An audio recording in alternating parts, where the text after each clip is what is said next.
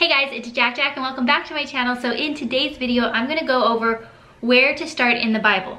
Disclaimer, there is no wrong place to start in the Bible in my opinion, but I'm gonna go over some things that might help like gauge your interest or help just kind of guide you along the way if you are just completely clueless. And if you are, that's totally okay. It might bring you comfort to know this is one of my biggest questions I get asked in comments, I get asked in emails, I get asked in DMs, messages, all these kind of things. This is the number one question people ask is how do you know where to start in the Bible or where should I start in the Bible? I've never read the Bible before.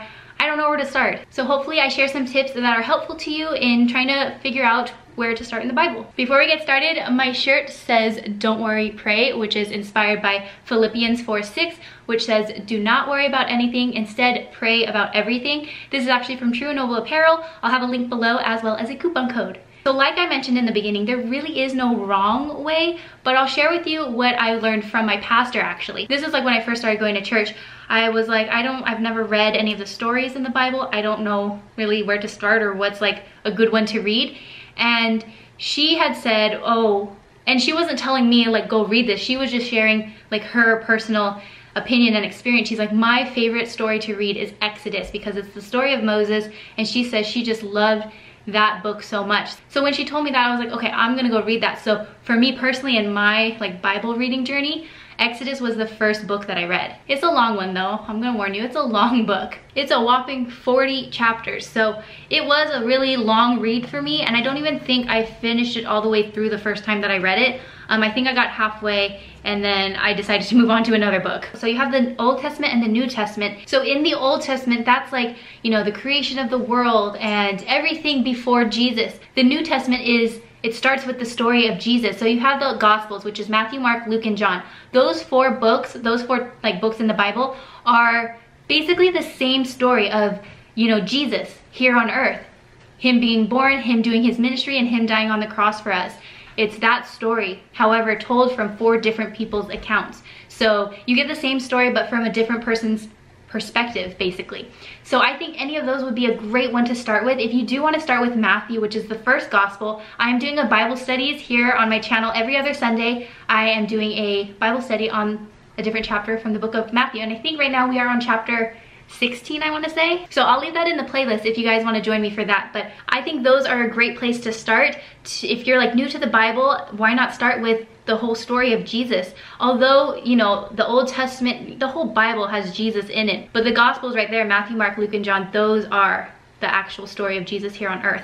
So that's a great place to start. I used to be in leadership at church and my pastor actually recommended 1st and 2nd Timothy. Those are great books for leaders or people starting out in leadership, especially if you're young because Timothy was very young and people would like kind of talk down about him like you can't be a leader, you can't do this, that, and this because of his age, because of his experience, whatever it may be.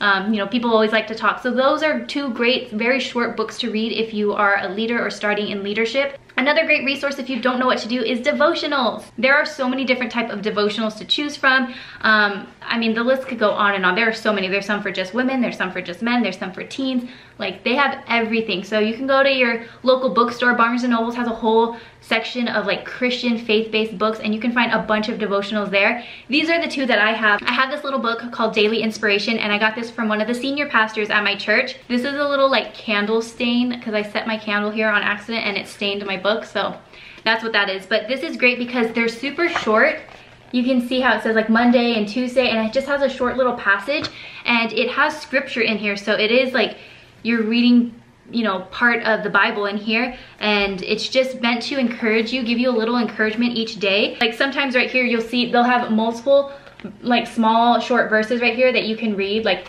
on a daily and i think this is such a great way to read you know, the Bible without fully committing to a whole book in the Bible. This is like a very easy way. This other devotional I got, um, I got this for Christmas. This is 100 Days of Joy and Strength by Candace Cameron Bure. And this is from dayspring.com. And this is great because, here, I'll just show you. So in this particular one, you have like a short little reading prompt here that you read each day. And then they have a Bible verse right here. And then a space for you to journal and a little prayer at the end.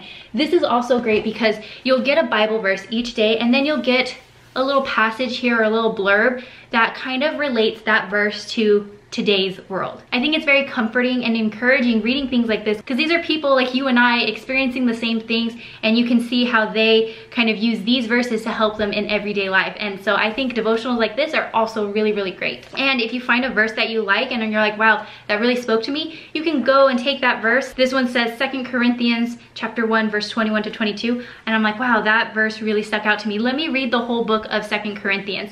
And that's also a great way to start in the Bible too. One of the things that my one of my pastors did say was that don't be so quick to jump to revelations because if you're very new to the Bible, if you're new to faith, that one can kind of like shake you a little bit because it's it's a lot and so the Old Testament is everything before Jesus. The New Testament, the Gospels are Jesus' time here on earth. And then after the Gospels is Jesus' time after earth. And then Revelations, the very last chapter in the book, is prophecy to what is to come. So when you read that, it's like, whoa, that is gonna happen. And it, it could kind of shake you and overwhelm you. At least that's what the pastor told me. I have yet to read Revelations. It's on my Bible reading plan for this year. So we shall see what it is all about. But again, she said that to me like when I first started going to that church. So I've shared some tips with you guys and hopefully that was helpful. Um, now I wanna share some of my favorite books within the Bible. I love First Peter, I love the book of Jonah. These are all very small books within the Bible in the New Testament. They're very small, but I love them so much.